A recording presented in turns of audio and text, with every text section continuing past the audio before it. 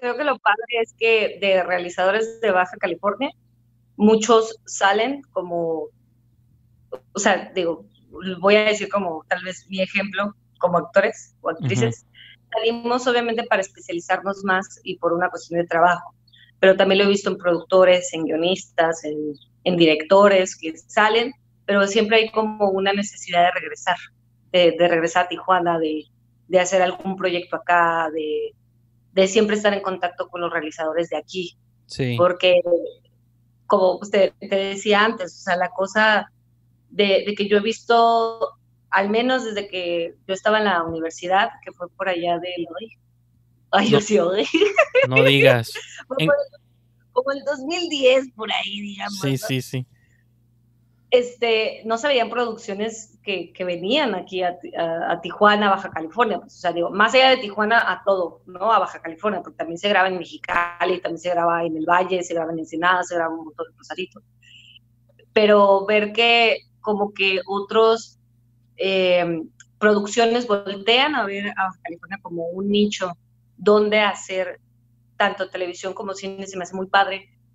Sin embargo, siento que sí ha venido mucho la demanda de afuera para trabajar aquí, pero creo que es un arma de doble filo porque siento que puede ser, o porque hay obra de mano barata, uh -huh. que, que la neta, más allá de obra de mano barata, de, de que abaratamos, no creo que abaratemos el, el, el, trabajo, sino que trabajamos muy chingón, pues.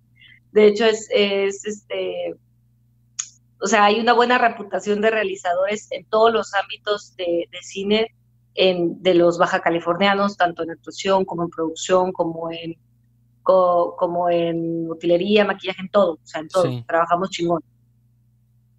Pero, pero aquí, en, aquí al menos en, en, en, Baja California, yo cuando volteo a verlo digo, órale, qué padre, pero ¿y qué más ha pasado? ¿Sabes? Como, Ajá, ¿qué ha pasado sí, de la gente que se aquí? ¿Qué digo? También veo cosas padres, pues veo muchas cosas padres, pero siento que es un poquito más como todavía estamos en capullito, no sé cómo decirlo, que ya tal vez no me te pueda incluir aquí porque pues hace mucho que no vengo, ¿verdad? No, pero sí hay como un mito también de que eventualmente van a pasar cosas aquí cuando siento que a veces en Estados Unidos, por ejemplo, pues para pegar tienes que mudarte a Nueva York, bueno, a Los Ángeles o Nueva York, pero más Los Ángeles porque pues ahí está, ahí está el centro. Entonces las personas que son como de ciudades o pueblos pequeños o se van, porque si se quedan, sí, cada ciudad o cada estado tiene sus pequeñas mini industrias, pero como que la realidad que nunca nadie quiere escuchar o que es difícil oír de, con los que nos quedamos es que si nos hubiéramos ido o estuviéramos allá en México, como hay muchas muestras que tú mencionas, incluida tú, pues sería quizá todo diferente, ¿no? Entonces es como tomar ese salto de fe y, e irte, pues no hay, no hay otra opción. Sí. Es que creo que lo padre también de, de irte, o sea, bueno, al menos voy a decir en mi caso, es que ves las cosas de otra perspectiva, ¿no? Primero se, hable, se abre un panorama mucho más grande de, de, trabajo, o sea, de la industria, como decir, bueno, ahora ya no estás trabajando tal vez con, con tus compas, ¿no? O sea, ya no es como, ah, es que tengo que quedar bien con este compa porque es el único que está haciendo, por ejemplo, producción audiovisual aquí en Tijuana. Ahora ya te abres el campo como pues realmente a compañías grandes, o sea, como Sony, Fox, este, Televisa, TV Azteca, Netflix, etc., etc. O sea, te da como este panorama tal vez un poquito más profesional, no sé cómo decirlo, más grande. Sí. Porque, y, al menos en mi ámbito, ¿no? O sea, de, de que aquí la mayoría de los actores salimos de, de, la comuna de teatro, de la comunidad de teatral, pero allá no, o sea, allá los actores salen hasta de las piedras, ¿no? Y, y a pesar de que nuestras comunidades sean muy chicas, pues es aprenderles a todos de todo, ¿no? Sí. Entonces, es como otra perspectiva porque ya ves también cómo se trabaja, siento yo que ves cómo se trabaja de, a una mayor escala. Ya cuando regresas como realizador, tal vez a, a Tijuana, por ejemplo, puedes contribuir a, al, al, crecimiento porque ya lo viviste. O sea, más allá de que aquí en Tijuana yo siento, o en Baja California se trabaja de una manera profesional muy, muy, de muy alto nivel, de muy alto nivel. Solamente que siento que a veces no sabemos, o, o he visto o he sentido, es más un sentimiento, este, que, que no sabemos exponenciarlo. No sé cómo decirlo. Sí. Yo siempre he dicho que en Baja California hay magníficos actores que solamente se quedan aquí. Uh -huh. eh, y que es, es, eso, ¿no? De como, oye, da el salto de fe, pero es también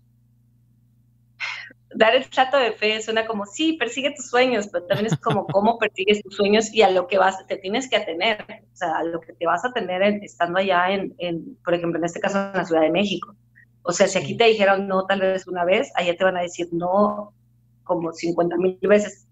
Entonces, sí es tener un estómago de acero, pero lo, lo chingón de a veces de irte como de una ciudad pequeña a una ciudad más grande es que no tienes nada que perder.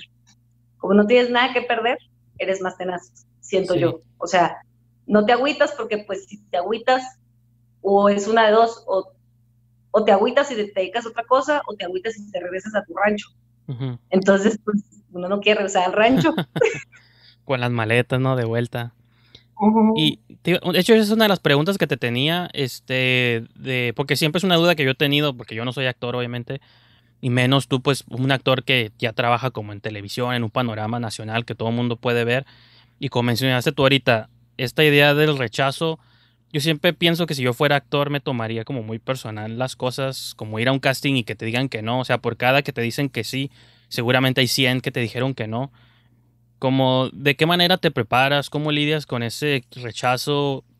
Porque en, muchos, en muchas maneras también lo veo como un rechazo físico, quizá, de que no reúnes los, las características que tales productores o el director, no es de que seas malo o bueno, sino simplemente están buscando una persona con un perfil muy específico y hasta que no lo encuentran, pues automáticamente eso significa que muchas personas se quedan fuera, ¿no? Entonces, ¿de qué manera no te lo tomas personal? ¿De qué manera dices, bueno, pues es parte de la chamba, ya llegará como el rol y que no se mezcle como en el rechazo de la vida diaria, pues, ¿no? Porque yo me imagino, si una persona me dijera a mí algo como, hey, estás muy chaparro, no me gustas, esto, lo otro, tu color de piel, para rechazarme, lo que sea, pues me lo tomaría a mal, ¿no?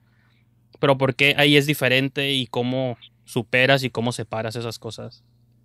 Pues yo creo que es, creo que es una cosa de personalidad, más que a, veces realmente no hay como rechazo uno en la escuela o no hay ningún curso que se llama cómo prepararse ante el rechazo en un casting, por ejemplo, en proyectos.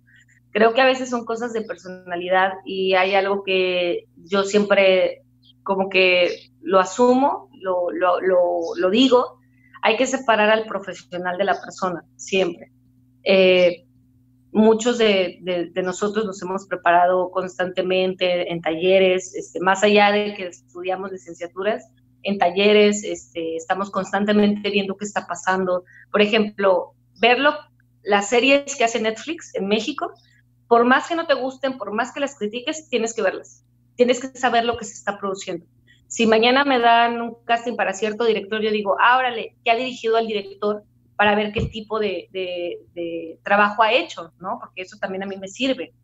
Entonces, cuando, por ejemplo, también depende mucho de dónde viene el rechazo, ¿no? Yo, yo creo que a veces uno dice, claro, yo soy actriz y yo voy a hacer todo lo posible para tener ese papel, pero si me ponen una güera, un 80, eh, amante del narco mayor, Creo que no soy ese perfil y claro que yo me puedo decir, claro, es que me encanta la personalidad de este personaje porque dice que es súper así, pero tal vez creo que, que, los directores lo van a entender, ¿no? O sea, y también algo que yo creo, hablando esto de los directores, de los escritores y guionistas, a mí como actriz me funciona mucho pensar que el proyecto, a pesar de que tú digas, este es el personaje de tus sueños, empezó como el sueño de alguien más. O sea, hubo un guionista, hubo un director, hay un productor detrás de ellos que, que están pensando en su ideal de, de persona, de, de, persona, o sea, de persona tanto física como mental, que quieren.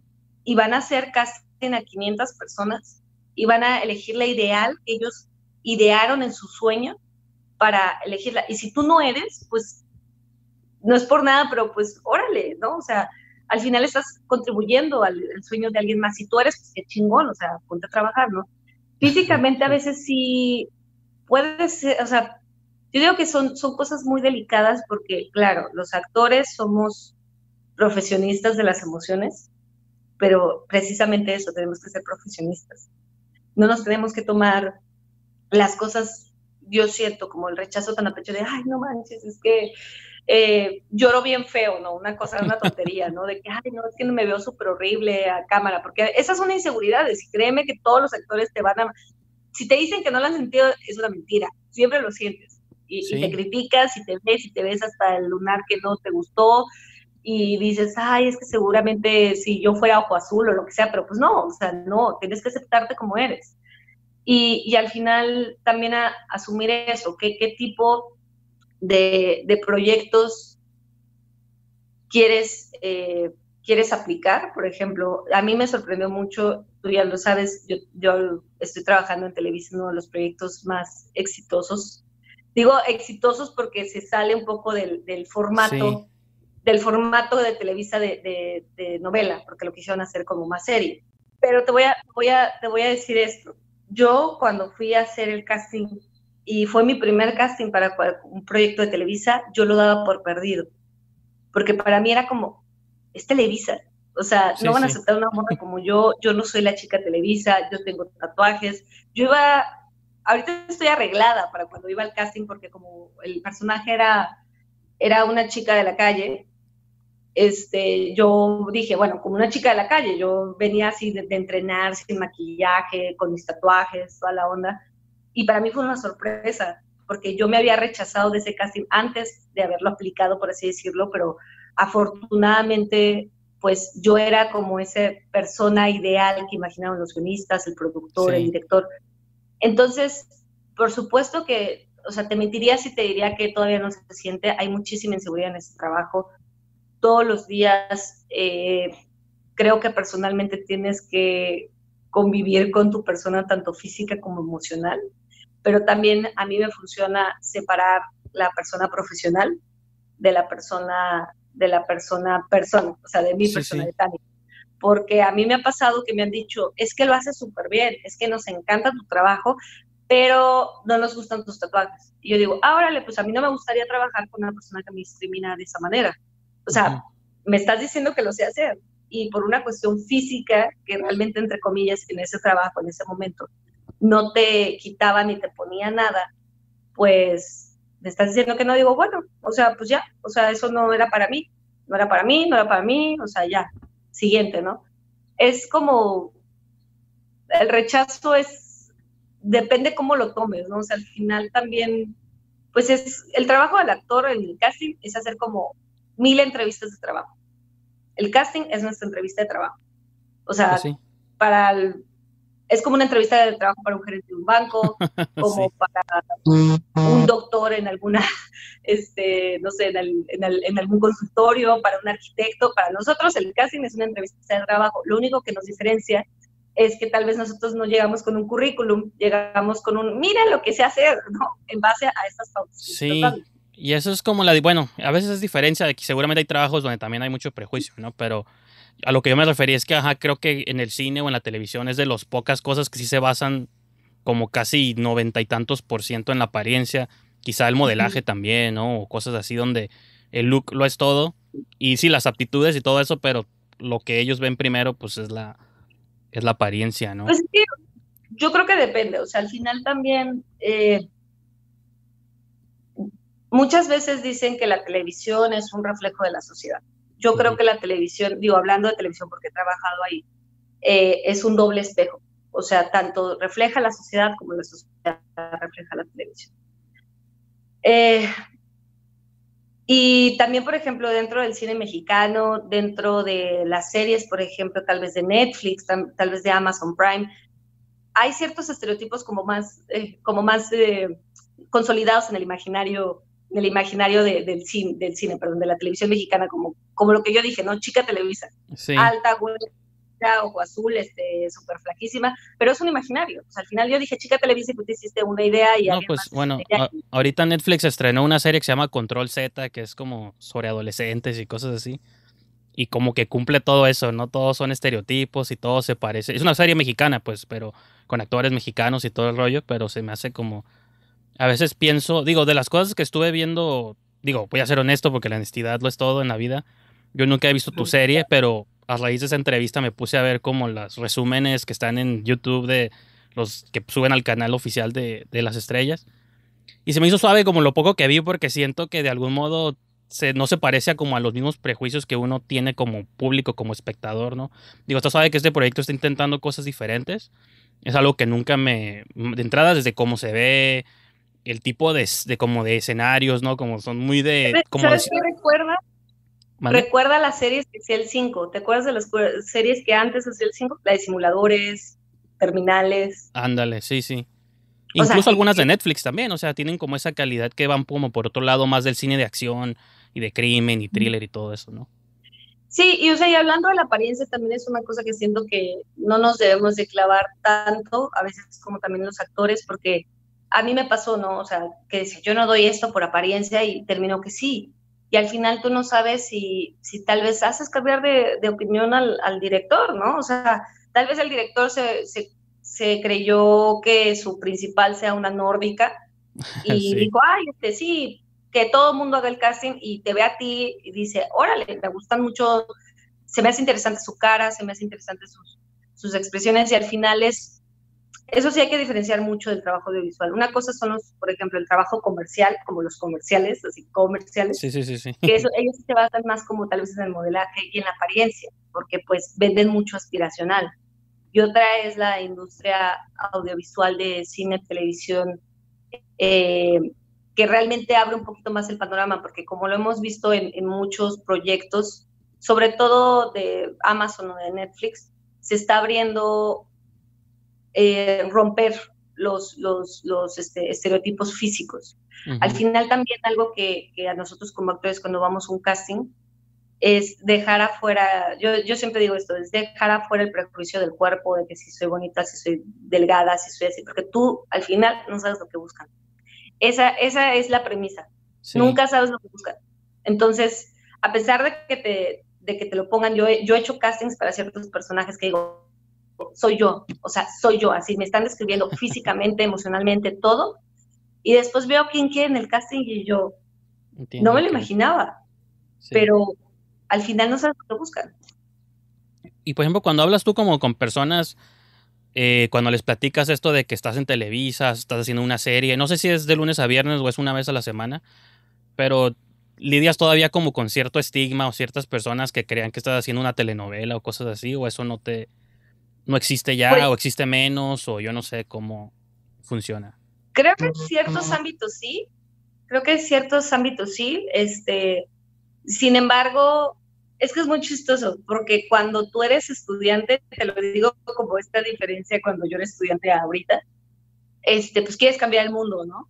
O sea, quieres cambiar el mundo y dices, no, es que yo voy a hacer los proyectos de cine bien intensos, bien intensos, y no, como crees, nunca voy a hacer televisión, pero después te vas a vivir solo, después tienes que pagar la renta, después te das cuenta que tal vez tu perfil sirva para ciertos comerciales, por ejemplo. Este, es, es normal que algunos actores estudiados eh, hagan comerciales, la verdad eh, que a veces está desestimado porque se, se, asocia un poco más con el modelaje, pero pues no, o sea, al final también cuando ves comerciales la gente pues expresa, ¿no? Y nosotros pues somos profesionales en eso. Me ha pasado que sí digan, ah, es que es una, es una telenovela, y yo, pues sí, es una telenovela, ¿ves? O sea, es una teleserie al final, ¿no?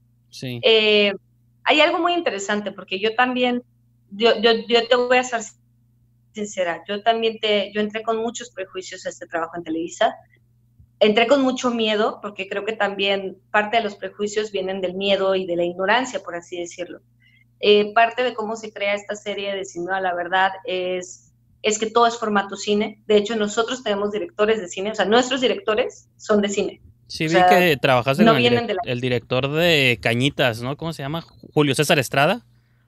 No sé si dirigió alguno de tus episodios, pero pues hizo el libro de piedra. Sí, él, dirigió, él, dirigió en, primera, en, la primera temporada. Hizo también una película donde debiste salir tú que se llama Girón de Niebla. Entonces debiste haber salido tú ahí. ya sé. No, bueno, adelante. Y de hecho, todo el equipo. Pero... el equipo, cómo grabamos eh, la serie, no, es una cosa de que súper profesional, o sea, demasiado profesional. La gente de Televisa es de las personas más profesionales, eh, dedicadas que he conocido. O sea, la verdad, mis respetos para todo el club, para todo el. Entonces, este, por ejemplo, eh, cuando hay esta discriminación de que, ay, es que son novelas, o es que es una serie, o quién sabe qué, yo digo, bueno, es un, es, es, una, ¿cómo decirlo? Es un precepto que tienes, pero ya cuando te das cuenta de toda la maquinaria que hay atrás, es, es la mejor escuela. La verdad es la mejor escuela. Es la mejor escuela. La televisión en México es la mejor escuela para actuar porque te resuelves, tienes que resolver así. O sea, a mí me ha llegado eh, escenas que son las hijuelas, que es como una escena que van a cambiar, a las 10 de la noche y la grabas mañana a las 6 de la mañana. Si no eres como un actor que es o sea, si ya tienes asentado tu personaje, si ya tienes tu ruta, si ya, ya te la sabes tu personaje, lo vas a resolver, pero si casi como, ay, no, en mi momento de inspiración, pues no es por nada, pero pues ahí, es, ahí son las mismas trabas que nosotros nos ponemos, ¿no? Entonces creo que, que yo a lo personal no he escuchado eso de, de, conocidos cercanos míos. Lo que he escuchado es como, qué padre que tengas trabajo. La neta, pues porque al final es eso. No, a mí se me hace, digo, emocionante porque yo no había medido las dimensiones. Te digo, quería platicar contigo por la serie y todo, pero pues digo, digo, otra vez cayendo en honestidad, yo no soy el público meta, por así decirlo, de, la, de la serie, pero como que empecé investigando y escarbándole me di cuenta pues que es el nivel de público que tiene, que pues es un, este, un programa estelar, tú eres uno de los protagonistas. Y se me hizo como muy interesante todo lo que hay detrás, tan solo este, deslizándome en los comentarios de todos tus videos, pues sí está como unos que les encanta tu personaje, que quieren que te quedes con el protagonista, otros que no. Dijo, eso se me hace como muy suave y digo, independiente de todas estas cosas de prejuicios y lo que seas, es muy difícil como lograr ese estatus de que la gente te ubique, te vea, que te pueda ver en televisión abierta y todas las noches o una noche a la semana. Pues yo creo que eso es como emocionante o de admirarse por sí mismo, ¿no? Y el que diga, el que, ¿cómo dice? Ahora sí que el que diga que no, no, no le interesaría eso, creo que está mintiendo, ¿no? Porque como actor, pues eso es lo que, a lo que aspira. Sí, o sea, el, reconocimiento de alguna, de alguna otra manera. O sea, el reconocimiento al público, que también creo que, eh, ¿cómo decirlo? Hay públicos para todo, como tú dijiste, tal vez tú no eres el público meta, eh, el público meta, pues no sé cómo decirlo, es, es, más como la gente que vemos en la calle, ¿no? O sea, como la gente normal, no sé cómo decirlo. No, y yo lo digo porque yo casi no veo programación mexicana, no tanto porque yo diga que esta cosa, sino porque, pues, como que no tengo aparte, no tengo Blim y no sé cómo verlo, pues, pero me refiero que... Sí, sí, o sea... No digo que sea gente diferente. Sí, o sea, este, la gente que sigue viendo televisión abierta porque pues es una opción. O sea, yo también, yo antes decía, ay, tengo que aprender la tele. O sea, la verdad, a mí también me pasó, yo no veo televisión abierta desde hace, o yo creo que como desde el 2005 o algo así. Sí. Pero al final también ver que pueden cambiar los contenidos y sobre todo, porque mira, al final creo que hablo por también las personas que me rodean, de compañeros, colegas míos, actores, que también han ido y han tocado puertas, a nosotros no nos han regalado absolutamente nada. O sea, al final todo es producto de andar tocando puertas, como tú dices, de 50 castings que te rechazan, en uno quedas. Y es a veces el uno que, te quedas así como, órale, ¿yo? ¿Cómo? ¿Por qué? ¿No? Y, y, sí te saca a veces de, de, onda, pero también es salir de la zona de confort. O sea, la verdad es salir de la zona de confort, porque también a mí me dio, a mí me entró de golpe también eso de entrevistas y te suben los números de seguidores y te reconocen y creemos que vayas a este evento y creemos que es como, wow, wow, wow, ¿sí sabes? O sea, eh, por ejemplo, ah, es que ustedes que son artistas, este, viven súper glamoroso y es como que ah, yo paro al, al, cholo que pasa vendiendo tortillas porque me gusta la tortilla, o sea, es como que, no, ¿sabes? Es muy chistoso esta idea de figura pública y es algo que sí me gustaría como, como hablar, porque una cosa es mi trabajo como actriz y otra cosa es la figura pública que de alguna u otra manera se va creando. Y otra cosa es mi persona como la que conocen mis amigos, la que conocen mi familia. Porque sí es algo muy raro, es, algo muy raro como, como hacer distinciones, pero hasta por sanidad las tienes que hacer. O sea, no voy a subir a mis redes sociales como, ay, adivinen que hoy tuve un día terrible por porque me peleé con mi novio o algo así. Al menos yo no soy como de eso, ¿no? Sí. Este, porque yo prefiero que mi vida privada se mantenga pues exactamente eso, ¿no? Privada. Pero te asocian mucho a veces con el personaje que, que, que, ven en la televisión, eso sí me ha pasado mucho, que te asocian mucho con el personaje. Y ya cuando me ven me dicen, es que hablas diferente. Y yo, pues sí, no, tengo ese acento, o sea, ni siquiera, ese acento lo tuve que aprender, ¿sabes? Porque es un acento chilango, pues, pues, más de, de, la calle de, de, la, de la Ciudad de México. Ajá. Este, o me dicen, ay, es que te ves, te ves diferente, y yo, pues, pues sí, ay, yo, pues sí, este, de eso se trata. espero que mejor, ¿no? No que sea como peor. Toda la primera temporada yo me la pasé sin una gota de maquillaje frente a cámara. No tenía nada de maquillaje. Cosa que, neta, neta, neta, es un reto para cualquier actriz. Pero eso fue porque no, quisiste, no quisieron, fue... No, porque era parte de la, era parte de la caracterización del personaje. O sea, era parte de, que ella no se ponía maquillaje y cosas así. Digo, yo no me pongo mucho maquillaje, que digamos. Pero, por ejemplo, ni enchinarte las pestañas. Así te la pongo. Entonces, sí, ahí es un golpe a la vanidad muy raro, pero... Pues no es muy pues, diferente. no es muy diferente trabajar a una producción independiente en Tijuana, ¿no? Donde tampoco hay presupuesto para maquillaje ni nada. No, pero pues yo me maquillo entonces. Ah, bueno, eso sí es cierto. No, y, te iba a preguntar algo así de que si... De que, pues digo, yo que te conocí de, bueno, iba a decir de acá, pero pues, ahorita estamos en la misma ciudad, este, en películas independientes, este, sé que habías hecho cortos, videos, todo esto. Quería comentarte si hay algo de, hay algún aprendizaje de estos proyectos que aunque son una escala mucho menor, mucho más pequeña, más independientes, que ahorita este, en, en una escala mayor o en un panorama mayor, que se te hayan como quedado, cosas que hayas aprendido que tú pensabas que a lo mejor no se iban a repetir ya cuando estés trabajando acá en sets, estudios y con directores y todo, que digas, mira, esta cosa que aprendí allá en Tijuana hace mucho, como que me está sirviendo, no sabía que me iba a servir tanto, o lo mejor, o lo contrario, algo que digas, que, o sea, esto se hacía así, pero a un nivel profesional estas cosas no es como yo pensaba, ¿no? O sea, como cualquiera de estos dos lados.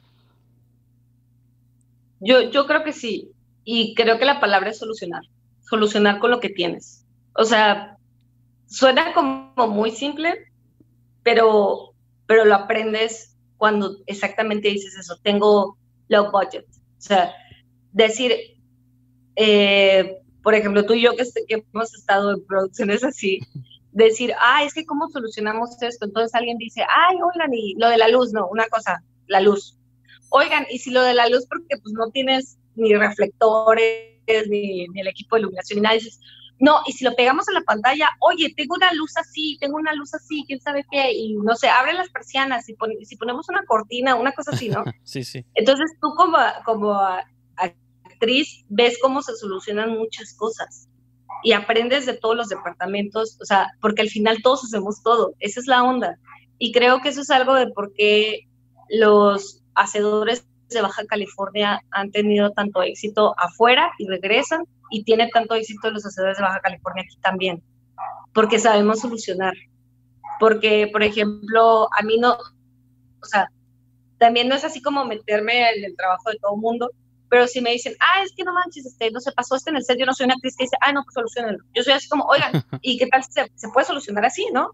O sea, oigan, ¿y qué tal si pasa esto? ¿Sí sabes? O sea, como que te abre más la mente a decir, yo también puedo solucionar respetando obviamente el trabajo de cada quien, porque ya cuando trabajas en sets más grandes, la cosa es que pues el trabajo es tan delegado y es tan específico que tienes que respetar el trabajo de cada quien, no, puedes andar metiendo mano. Sí, pues sí. Pero, pero aprendes, o sea, pero aprendes de ello y puedes decir, ah, oye, este, ¿y qué tal? No sé, es que quiero encontrar un, quiero encontrar un, este, ya sé, cuando en unas escenas yo estaba secuestrada y tenía unos grilletes y a mí me estaban lastimando los grilletes. Entonces querían modificar el grillete y quién sabe qué les dije. Esto es tan sencillo, pásenme una venda, me la vendé y ya no me lastima, vámonos.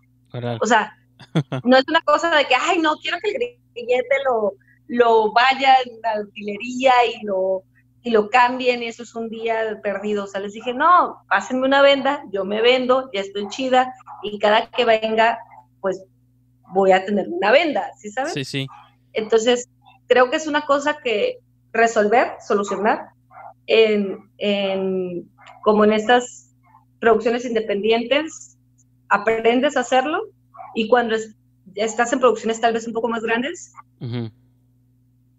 que vas absorbiendo también cómo hacerlo y también puedes ayudar a eso. O sea, creo que es un, ninguna es mejor que otra. Es decir, cómo podemos ayudar a, a saber en qué, o sea, ya sé cuál es mi trabajo, pero también cómo puedo ayudar a, a, que sea mejor y óptimo pues para todos, porque creo que a veces eso se nos olvida como actores. Nosotros, por supuesto, somos los que ponemos la bonita carita enfrente de la cámara, pero este sueño o esta historia empezó por alguien más. Empezó en un guionista, es el sueño del productor, es el sueño del director, es el sueño hasta del utilero.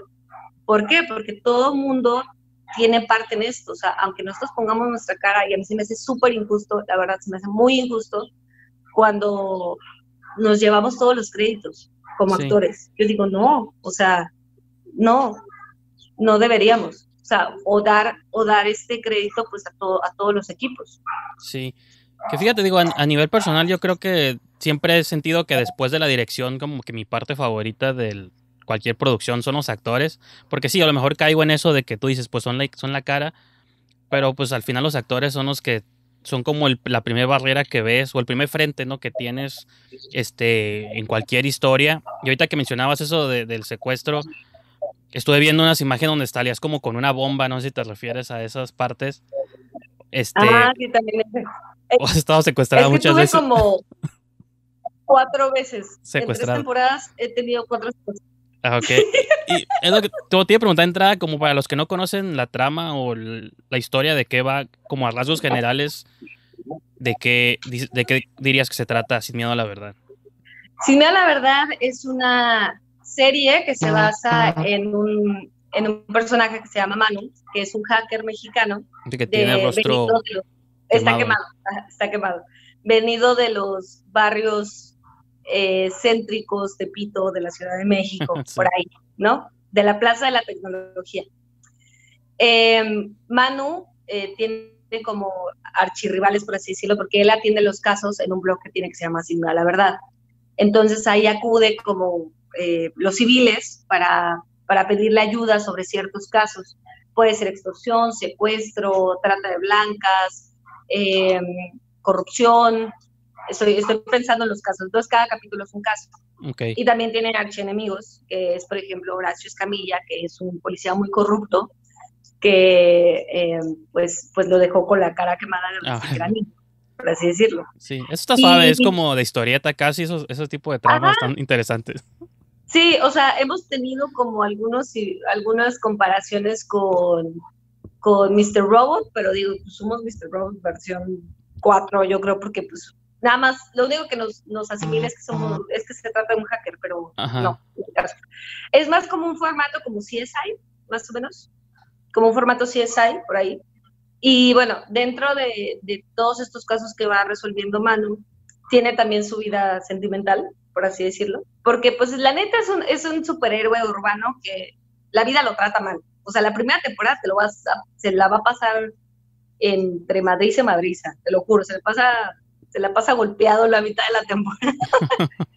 Entonces, dentro de los casos que resuelve, eh, está su vida personal, en donde entran los triángulos amorosos, yo he sido parte de los triángulos amorosos, y mi personaje es Berenice, que es una eh, chica de la calle, que creció en las calles, es huérfana, y pues Manu de alguna manera pues la quiere rescatar porque es una chica que vende celulares robados para mantener a su hermanita, a su, a su única familia.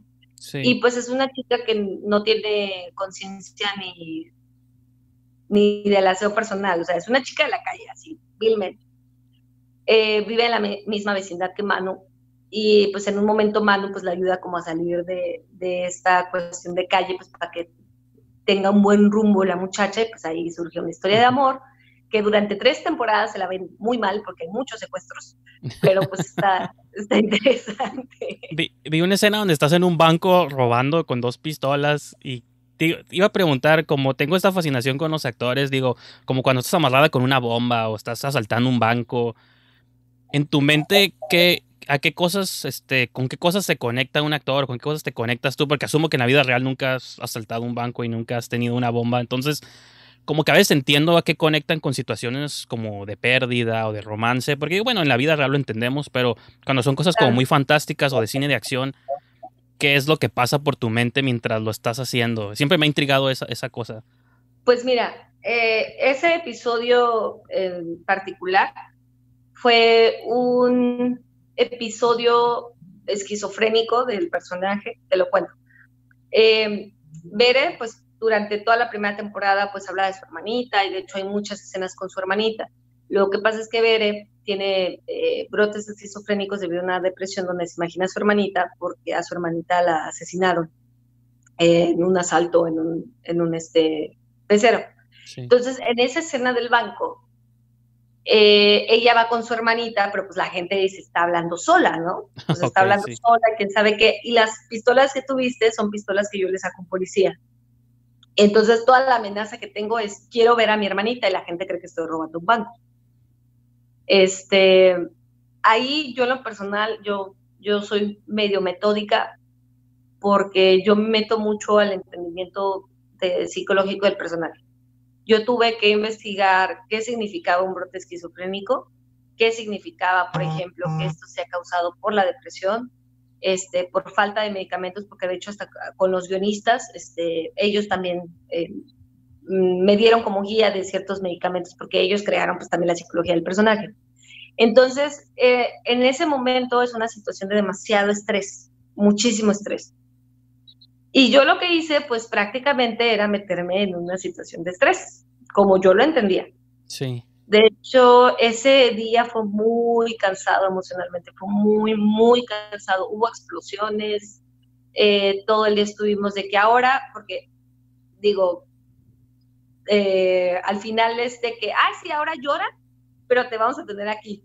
Y ahora llora, pero te vamos a andar siguiendo con el free fly. Y ahora haz lo mismo, pero lo vamos a hacer de lejitos. O sea, es como, tienes que repetir la escena 50 mil veces en situación. Entonces, yo lo que hice es, ok, vale, me meto en esta situación de estrés y algo que a mí me ayudó mucho fue trabajar con, con, con, este, con Silvia, Silvia Tor, que fue la que dirigió esas escenas. Y me dijo, yo te voy a decir en qué escenas no te desgastes tanto. O sea, esta escena cuando tengas la cámara aquí, ahí sí dalo todo, dalo todo, así, todo lo que tú quieras. Pero por mientras ve entrando, vamos a hacer primero las escenas como que sean planos más abiertos para que vayas entrando en la situación.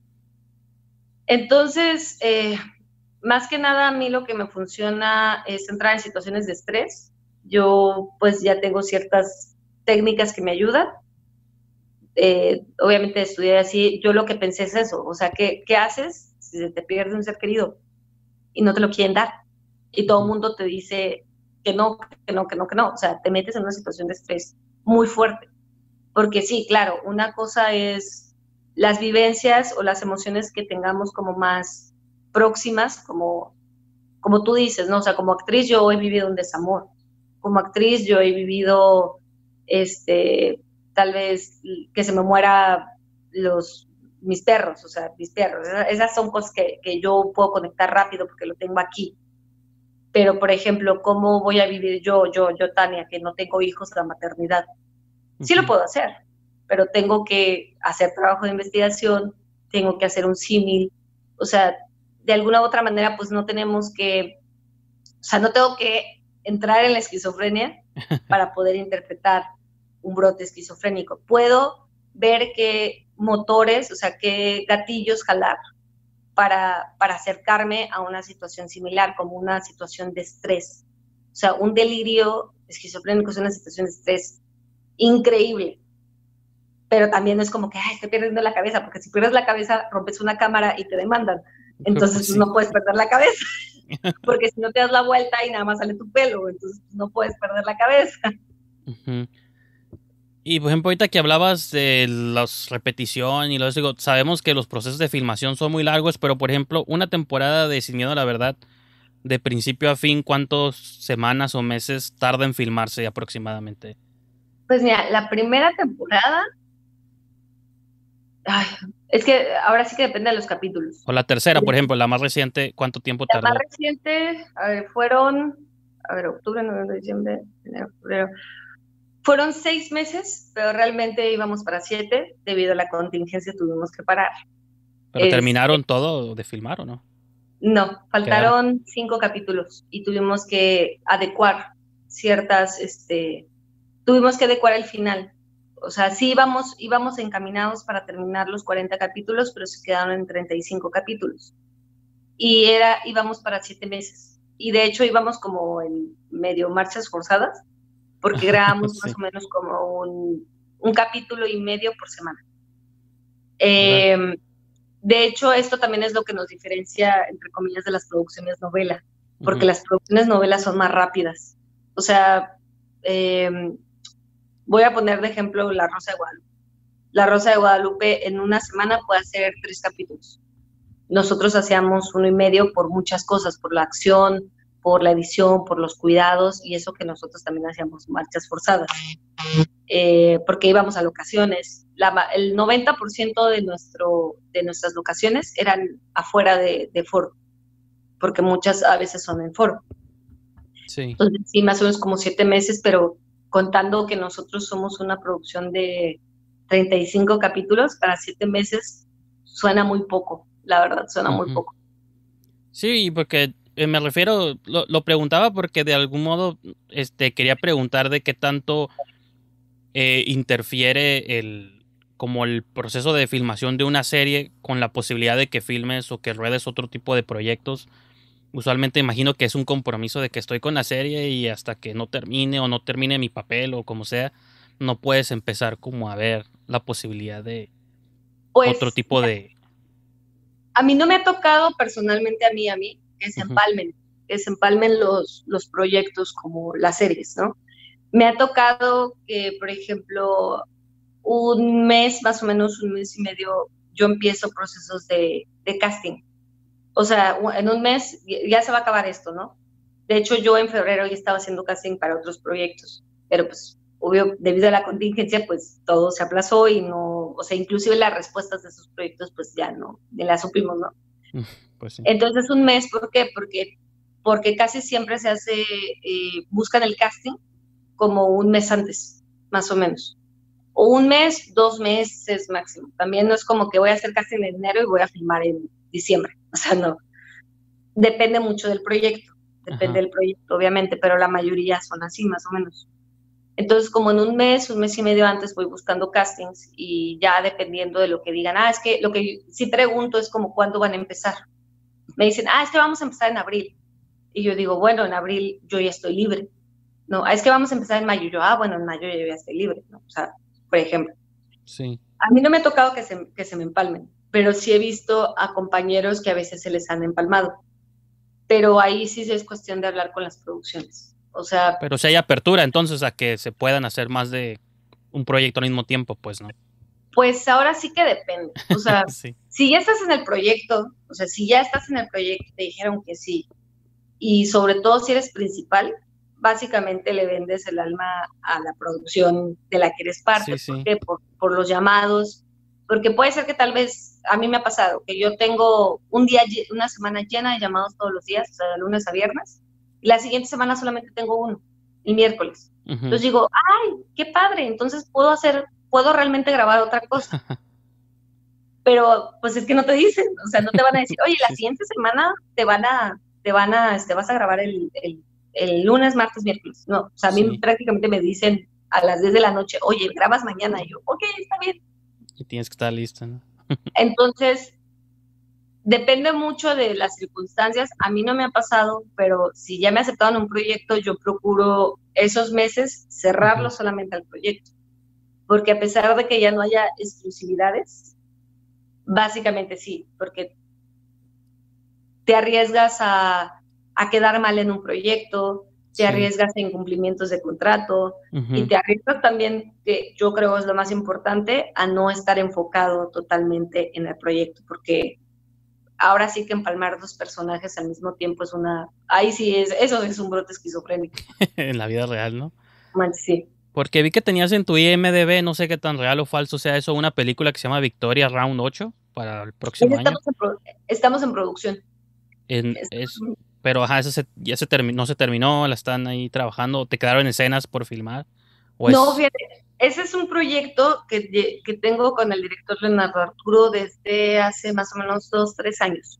Es un, es un proyecto que lo estamos, que lo estamos este, jalando desde hace dos años, ya, ya no me equivoco, dos años. Entonces, este, se ha, eh, conseguido como muchas, muchos rumbos de producción para hacerla, porque sí es un proyecto independiente a gran escala, por así decirlo. Todavía no hemos grabado, pero afortunadamente el proyecto es muy abierto para que nosotras también como actrices estemos involucradas, tanto yo como Dani Torres, que es la protagonista, este, que de alguna u otra manera somos coprotagonistas. Bueno, yo soy su coprotagonista. pues vi las fotos y salen acá. Sí, salimos las dos. Eh, entonces es un proyecto muy padre en ese sentido. Ahorita todavía estamos en preproducción. De hecho, teníamos planes para entrar ya, este, ya de lleno en este año, pero debido Otra a la vez, sí.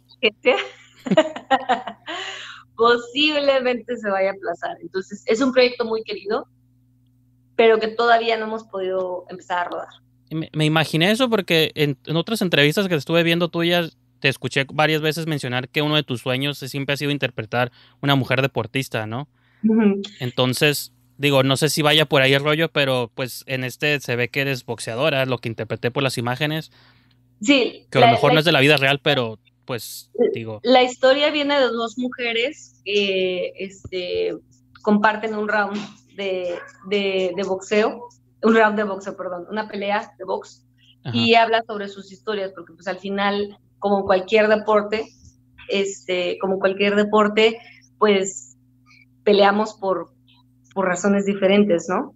Entonces, hablando de, de, lo que es ser mujer, del boxeo, del deporte en México, porque afortunadamente también he tenido otros proyectos que no tienen que ver con la actuación, de mucha convivencia con deportistas este, mujeres, son temas difíciles. Puedo decir que son temas difíciles, pero son temas muy, muy interesantes. Entonces, Victoria Round 8 habla sobre por qué pelean estas dos mujeres. Eh, historias muy diferentes, pero el formato es, es algo muy bonito que, que, lo estamos tejiendo, te digo, desde la comunicación con, los director, con el director, que es Leonardo Arturo, con los guionistas, con nosotras como actrices, porque siempre vamos aportando algo. Y algo padre de Leonardo Arturo es que muchos de sus trabajos cinematográficos vienen con una eh, causa, no sé cómo decir, sí, como una, como una causa. Él, dirigió una película muy bonita que se llama Cometa y habla sobre la adopción de, de, perritos. O sea, toda la, la, película se trata de eso. Entonces, parte de, de Victoria Round 8 es hablar sobre la violencia hacia las mujeres, o sea, a través de una historia de superación, de box, de box eh, femenil, que es a través de una historia de superación de estas dos mujeres, porque pues al final también es eso, ¿no? O sea, eh, metafóricamente todos nos subimos al ring de la vida peleando por algo o por alguien. Entonces, eso es lo bonito de Victoria también. ¿Y qué tan importantes para ti son estas causas este, que a lo mejor trascienden la pantalla y que a lo mejor puedes ayudar con tu pues con tu fama o tu relativa fama o como lo quieras interpretar, porque aparte de eso, pues he estado viendo en tus redes sociales pues que manejas este, varias campañas, eres, no sé si eres parte de o eres fundadora de la asociación de Mi capacidad no estatuada, es demostrada, entonces siento que estás involucrada de pronto como en muchas este, de estas como causas que trascienden como la televisión, este, no sé, digo, supongo que es importante, pero quisiera saber un poco más qué tan profundo, por qué este interés entre todas estas cosas, ¿no? Pues, mm, porque quiero ser una buena persona.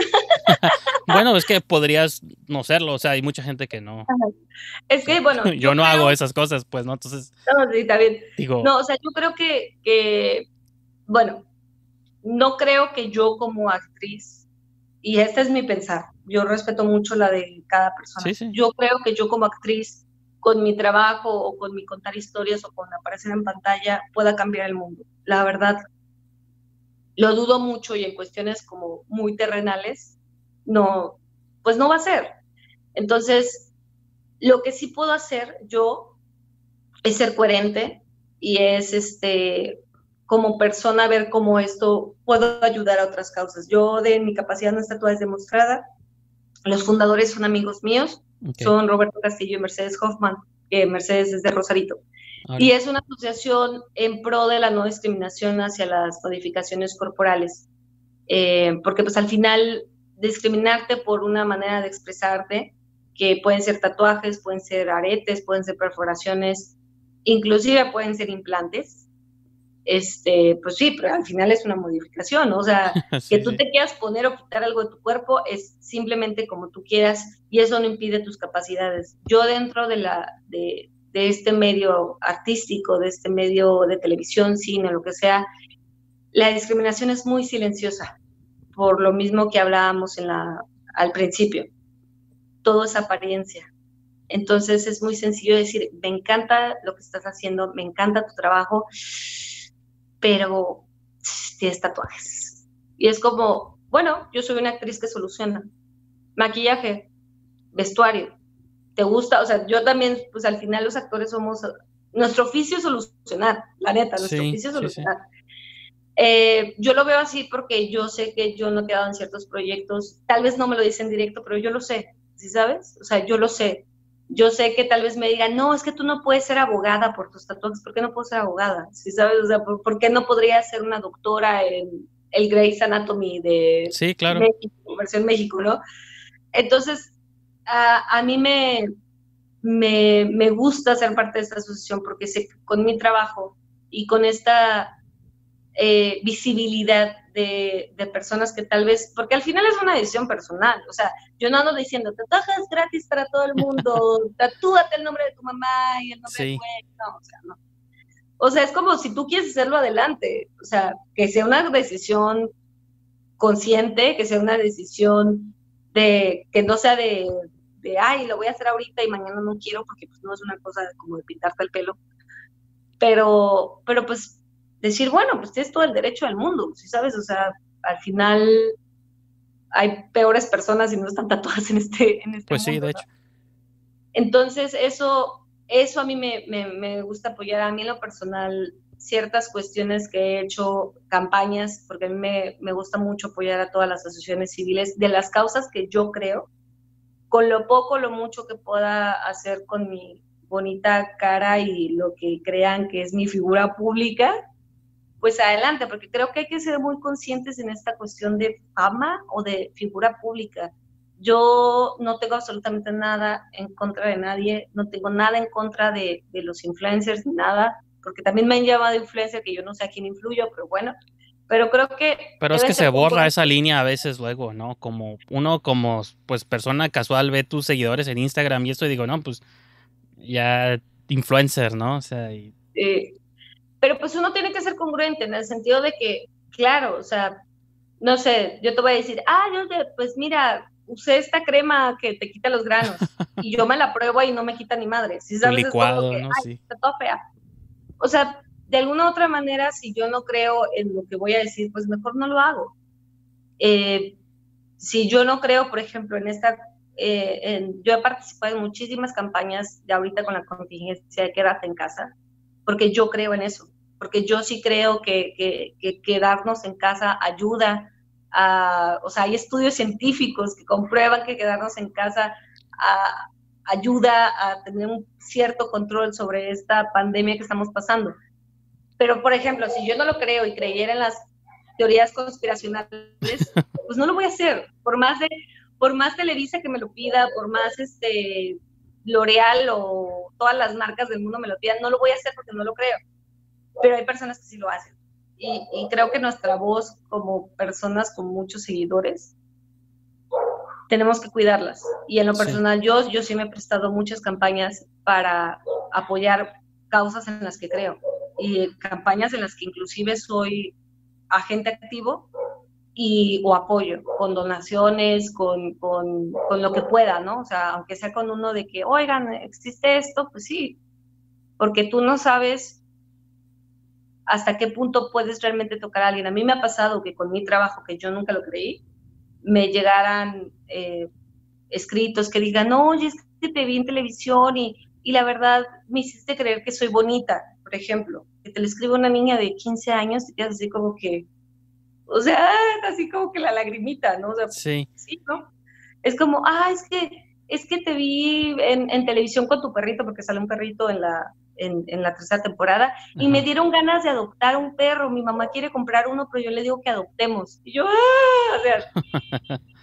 son cosas que tú no sabes a dónde van a llegar. Entonces creo que hay que ser congruentes y para mí todo el trabajo que he tenido con, asociaciones civiles y campañas ha sido porque nacen de mi persona, porque pues así soy.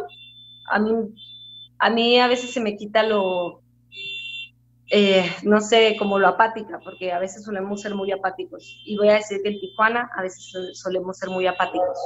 Claro. Porque sí, es o sea, en comparación a otros lugares, la verdad, a veces solemos ser muy apáticos. Pero cuando nos unimos está, está muy cabrón, la verdad. He, visto, por ejemplo, también todo lo que, lo que han hecho con eh, Baja California Cine, con esas cosas que se unen y, realmente sí se crean cambios. O sea, realmente sí, sí la gente oye, sí la gente apoya. Pero a veces pues, tenemos que quitarnos eso, ¿no? Decir como, ay, ¿para qué?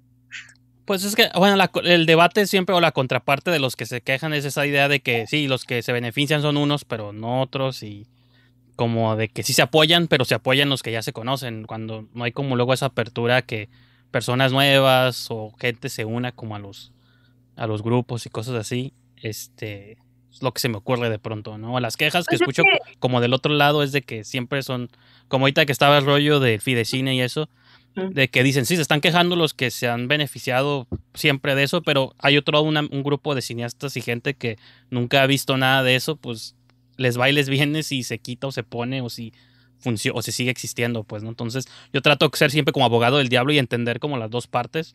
No digo que una tenga más razón que la otra, sino de que siempre de todo hay dos visiones. Pero, por ejemplo, y al final también es apoyar lo que, lo que tú lo que tú creas, si sabes? O sea, hay cosas que tal vez, bueno, pues yo no creo en esto, no lo voy a apoyar. Pues al final creo que también, tanto en el medio como en la vida en general, lo que más necesitamos es coherencia. Y es coherencia con nosotros. O sea, posiblemente mi coherencia no sea la misma que, que la tuya. O sea, lo que yo creo, lo que yo pienso no sea lo mismo que tú. O sea, dejar de, realmente pensar como, ah, es que hay que ir por el buen camino, por el camino que creen todos que tenemos que seguir y decir, güey, quiero ir por mi camino y tal vez mi camino sea, este, no sé, muy diferente al tuyo. O sea, tal vez yo quiero ser, voy a poner una, un ejemplo como muy, muy vano, ¿no? Yo quiero ser el mejor director de comerciales, ¿no? Y muchos directores decían, ¿cómo quieres ser director de comerciales? Si tienes que ser un director de cine. No, quiere ser director de comerciales, o sea, déjalo en paz, o sea, y él es feliz haciendo eso. Y, y, hay muchos también que te dicen, no, pues es que yo gano más tal vez haciendo comerciales, pues está bien, es algo digno, ¿sí sabes? Es, es, algo digno. O sea, es saber cómo nosotros podemos ser coherentes con nosotros mismos, tanto en lo personal como en lo profesional, sí. Eh, como también por, por, pues, pues para seguir impulsándonos y al final no ponerle el pie a nadie, o sea, eh, no voy a meterme mucho en el tema de Fidecine, pero yo he visto muchas personas que están tanto en favor como en contra, y como tú dices, tienen sus motivos. Sí, cada quien, sí, yo no digo que una sea mejor que la otra, nomás digo que a mí me gusta ser las personas que ven siempre como todas las aristas antes de decir si estoy a favor o en contra de algo, ¿no? Y es importante escuchar los dos lados y no, luego así se crean los cultos, ¿no? Cuando nomás crees una sola cosa ciegamente, lo, lo veo más peligroso que cuando tienes como la apertura, que que yo creo en esto, pero no le quito valor también a lo... O sea, por ejemplo, a mí se me hace incoherente cuando una persona ha sido apoyada por Fidecine tanto tiempo y nada más, no sé, no lo apoyan en un proyecto y ya avienta pesos. Eso se me hace una mamada. O sea, a mí en lo personal, y es, es mi manera de pensar. Sí, sí. Eso se me hace incongruente, porque es como, ok, pero por ejemplo, si a ti nunca te ha apoyado, tú nunca has buscado el apoyo, y no te gusta y estás en contra, pues la verdad a mí se me hace como, pues, está bien, ¿no? Pues, sí, que esa, esa, es otra, ¿no? De que a mí nunca me han apoyado, pero lo has buscado, pues no. Entonces, pues no. No te van a tocar la puerta. Hey, ¿ocupas ayuda? Pues no, nadie, ¿no? Eso no pasa. Este, igual para ir a empezar a redondear ya como esto y, y terminando, y ahorita que tocas el tema de la dirección, nomás como una curiosidad que tengo de si nunca te, porque sé que te, eh, te has producido obras y digo, porque también has trabajado mucho en teatro, si alguna vez te interesaría como, este, no dejar la actuación, pero como ahora sí que traspas, ir detrás del lente y dirigir una película, una serie, como que, este, pues sí, a pasar detrás de la cámara, ¿no? A mí me gustaría tal vez escribir un guion, me gustaría mucho escribir y, y te soy sincera, eh, tenido muy pocos acercamientos más por miedo que por otra cosa, eh, porque al final, digo, yo, yo he trabajado en teatro y he escrito para teatro, pero es muy diferente escribir, por ejemplo, para cine. O sea, el lenguaje de un guion es mucho más visual. Es, eh, es, eh, es, diferente, pues no sé cómo decirlo. Pues lo escribes mientras lo estás viendo, no sé cómo decirlo. sí. Entonces, me he acercado muy poco, por, tal vez por miedo, por falta de tiempo, la verdad, también tengo que ser sincera, pero me gustaría mucho en algún momento escribir, escribir, escribir. Me, me, me, me gustaría mucho escribir sobre ciencia ficción. En México creo que México tiene de los mejores guionistas, pero pocas veces he visto cosas de ciencia ficción. Pues por el presupuesto. Creo que son cuestiones presupuestales, ¿no? Sí, pero digo, a mí una película que me cambió la vida fue la fue Cronos de Guillermo, ah, pues del Toro y lo hizo con cinco pesos. Y es una gran película de ciencia ficción, de fantasía, ciencia ficción. Pero ahí mi contraargumento es no todos son Guillermo del Toro, ¿no? Creo que es también ya un, claro. un talento, una habilidad que se, pues lo estamos viendo, ¿no? Que hasta la fecha por algo tiene sus Oscars y, todo. Y él es un gran ejemplo de cómo hacer cosas con cinco pesos cuando te, y después te dan cinco millones de dólares, los haces chingonas y bien, y no haces cualquier pendejada. Bueno. Eh, me gustaría mucho escribir en algún momento comedia también. O sea, tanto actuarla como escribirla, pero yo creo que sí, sí me gustaría después pasar detrás del lente. Esa es otra pregunta que tenía, nomás que no salió el tema tanto, pues, de que usualmente en tus entrevistas mencionas como que te fuiste a México con tu mejor amiga, ¿no? A veces dices su nombre, a veces no, pero pues todos sabemos que es Mariana, Mariana. Y, y, en la premiere, cuando estaba, estaba viendo videos de la premiere solteras y te veía a ti desfilando ahí en la alfombra y quería preguntarte cómo esa porque luego a veces es difícil como uno evaluarse a sí mismo, o a veces no, digo, me da la impresión de que tú eres buena para como evaluarte a ti misma, pero quizá la perspectiva sobre verla a ella, que ustedes dos hayan ido casi juntas y ver cómo ella se salió en una película que se estrenó a nivel nacional, ahorita está en Netflix, una de las comedias, a mí me gustó mucho, fue de las mejores comedias que vi ese año. está muy buena. Porque también la comedia luego tiene un prejuicio muy duro aquí en México cuando así como hay malas, también hay unas muy buenas y creo que ella hizo una de las buenas. No sé cómo viste tú. Quizás si luego la entrevisto a ella le preguntaría de ti, pero ahora te pregunto a ti sobre ella, de cómo has visto como ese trayecto y cómo fue verla finalmente como en una pantalla pues grande, ¿no? Es que es bien chistoso porque es como, o sea, es mi mejor amiga desde la universidad, entonces es como, o sea, nos conocemos de absolutamente todo, nos conocemos porque como vivimos juntas, este, nos conocemos la emoción de decir, ay, tengo un callback, y después la decepción de no me hablaron, y después de que, oye, quedé, ay, qué padre, eh, ¿a cuántos castings viste hoy? ¿En cuántos te hablaron? ¿En cuántos no te hablaron? Entonces, la neta, ver, porque nosotros ya llevamos cinco años viviendo en la Ciudad de México, y los primeros años fueron muy duros, o sea, duros en el sentido de que sí te forjan el carácter, o sea, te forjan un carácter de es un filtro, o sea, es un filtro de paciencia, de, carácter. De carácter no es como, ah, soy fuerte, sino como al contrario. Yo creo que también cuando tienes que salir como a las grandes ciudades, es que tienes que ser muy flexible. O sea, la gente cree que sales de tu pueblo como roca, pero realmente tienes que ser más como agua. O sea, sí, o sea, sí. Eh, a mí no, o sea, yo lloré cuando la vi, yo fui la que más le tomó fotos, yo la, o sea, la publiqué por todos lados. Como mamá o hermana orgullosa, ¿no? Obviamente, todavía también fue su familia y yo así como tomándole, ponte con tu mamá, ponte con tu hermana, yo estaba como súper orgullosa de ella porque para mí Mariana, digo, más de que sea mi amiga, es de las mejores actrices de Tijuana que tal vez no viva aquí, pero es de las mejores actrices y muchas personas no me van a dejar mentir, porque hizo mucho teatro aquí, hizo muchas cosas aquí.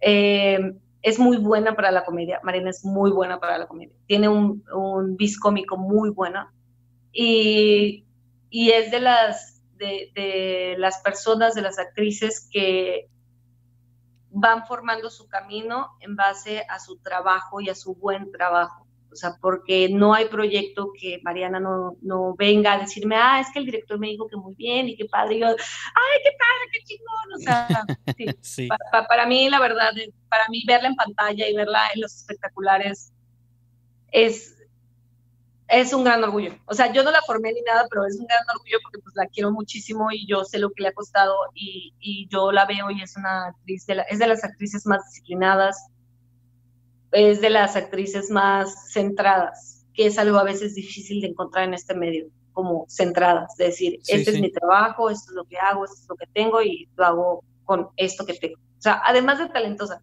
porque eso ya pues, se ha presentado. O se, se, ve en la pantalla, ¿no? También. Sobre la serie, ya terminó, eh, Sin Miedo, la verdad, ya terminó de pasar. Ahorita dices que se quedó como. Sí, ya terminamos la tercera temporada.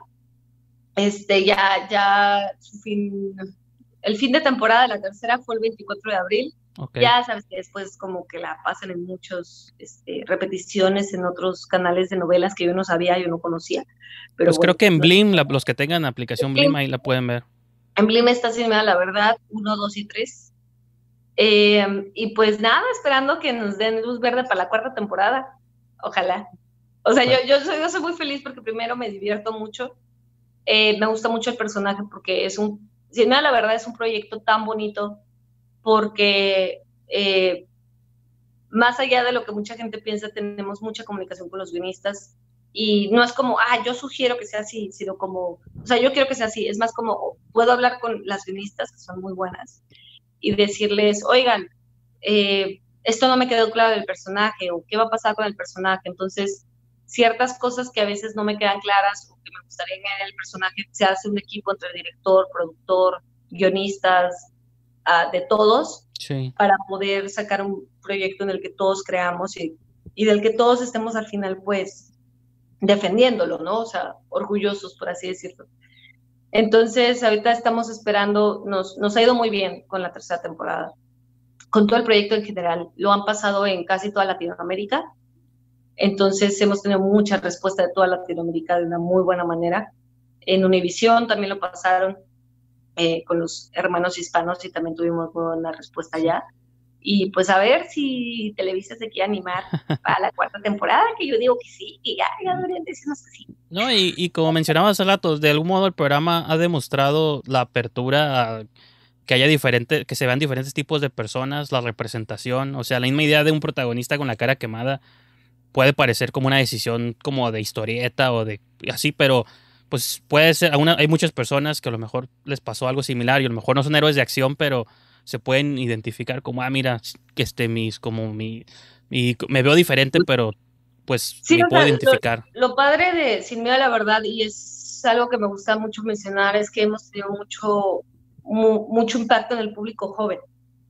Entonces es algo que yo sí lo esperaba, muchos no se lo esperaban, pero yo decía, es que esto es, es exactamente como tú dices, como un modo historieta superhéroe urbano, entonces yo dije, esto va a pegar para, pues para gente joven, ¿no?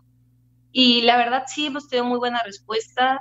Después nos mandan sus teorías que son muy divertidas porque pues nosotros ya sabemos lo que va a pasar en las temporadas y se ponen sus teorías y yo digo, estas deberían de ser, o sea, yo así deberían de, leerlas, ¿no? Pero bueno, este, y lo padre también es eso, que, que se ven incluidos, porque también, eh, bueno, además de los grandes actores que, que, con los que convivo, pues al final somos personas que nos ves en la calle y nos dices, hey, ¿qué pedo? Y te vamos a decir, hey, ¿qué onda? O sea, no somos inalcanzables. O sea, este protagonista que, que, que sale experiencia interpretando a mano, pues dices, cara quemada, pero también ves a Alex en la calle y es un chico, pues normal. O sea, me ves a mí, también es como, hey, ¿qué onda? Todas mis compañeras, o sea, no somos, no creamos esta cosa que tenían las novelas antes de los inalcanzables. O sea, sí y las historias de Silvia, la verdad, también es eso. O sea, es lo que pasa en las calles. Algunos han sido basados en historias de la vida real. Y algo muy chistoso de, bueno, una curiosidad de Silvia, la verdad, es que muchos de los casos no acaban bien, como en la vida real. O sea, muchos no tienen el final feliz de, ay, qué padre, rescataron a, eh, a la niña. A veces no la rescatan, te quedas así como que, muchas cosas que nosotros veíamos, nosotros decíamos, ¿por qué lo pasan en televisión nacional? ¿Sí sabes? Es como que... Como que ya se abrió mucho eso, ¿no? Porque incluso las groserías y todo eso, yo me acuerdo los tiempos donde no se podía decir nada y... No, ahorita ya. ahorita, ya. Pero digo, eso, está, eso es lo padre porque también...